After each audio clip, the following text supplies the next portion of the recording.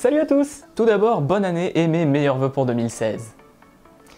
Allez, un 30 janvier, mieux vaut tard que jamais. Aujourd'hui, on se retrouve pour répondre à une question que vous avez été nombreux à me poser, à savoir comment devenir pilote privé?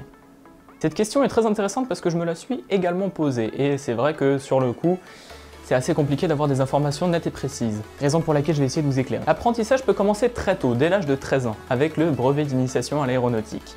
Le BIA, ce sont des cours théoriques dispensés au rythme de 2 heures par semaine, d'octobre à mai environ, et en période scolaire. Ils sont généralement présentés par des instructeurs d'un aéroclub. Les cours théoriques contiennent des informations sur 5 matières. En juin, vous aurez un examen sous forme de QCM de 100 questions, auxquelles vous aurez plusieurs heures pour répondre.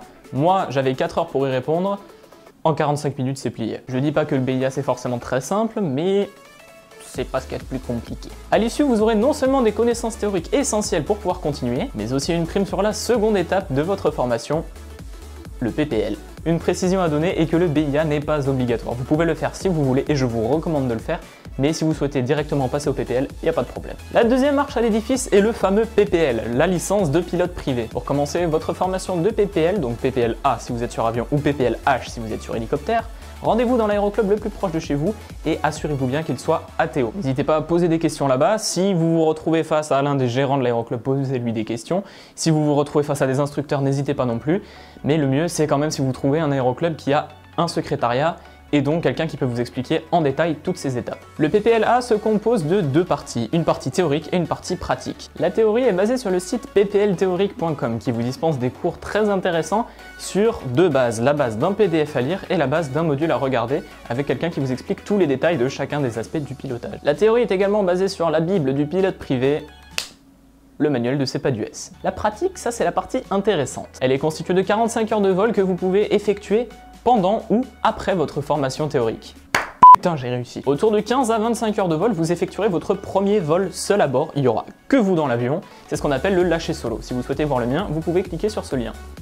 À 25 heures de vol, une dernière étape sera intéressante dans votre PPL, il s'agit du brevet de base. Une fois que vous aurez 25 heures de vol à votre actif et que vous aurez le PPL théorique en poche, vous pourrez vous présenter pour le brevet de base. Celui-ci vous permet de voler dans un rayon de 30 km autour de l'aéroport sur lequel vous avez passé votre brevet de base, et éventuellement vous pouvez étendre les droits que vous avez avec votre brevet de base. Vous pourrez par exemple transporter des passagers, tracter des planeurs, faire de la voltige et beaucoup d'autres choses. La partie la plus intéressante du brevet de base, c'est qu'il s'accompagne avec une prime de la Fédération Française de l'Aviation, ce qui est très très utile quand vous passez le PPL. Vous vous en aurez douté, on va maintenant parler du prix. Environ une centaine d'euros pour tout ce qui est euh, théorique, aspect théorique. En plus de ça, pour pouvoir commencer vos heures pratiques, vous allez devoir payer des cotisations à votre aéroclub, vous allez devoir payer des assurances, sachant que si vous cassez un avion, ça risque de coûter cher. Et bien entendu, vous devrez ensuite payer le coût de l'heure de vol. La formation de PPL au total dure environ un an et demi à deux ans. Une fois votre PPL en poche, vous pourrez vous balader où vous voulez avec des passagers sur l'avion sur lequel vous avez été lâché. Par lâché, j'entends qualifié. Enfin, je terminerai en disant que le PPL, c'est la base de tout. Tous les pilotes commencent par le PPL. Les pilotes de chasse, les pilotes commerciaux, les pilotes de transport, tous. Après, sans forcément devenir pilote professionnel, vous pouvez également passer des qualifications supplémentaires. Vous pouvez notamment passer la qualification de vol de nuit, de vol aux instruments ou de vol avec plusieurs moteurs euh, qui vont vous permettre de vous balader avec différents types d'avions sans pour autant être rémunéré. Voilà, cette vidéo prend maintenant fin. J'espère qu'elle vous a plu. Si c'est le cas, n'hésitez pas à la liker et à la partager. Si vous avez des questions ou des recommandations, n'hésitez pas dans les commentaires. Je vous rappelle que vous pouvez me retrouver sur Facebook et sur Skype. Et donc je termine en vous disant à la prochaine et bon vol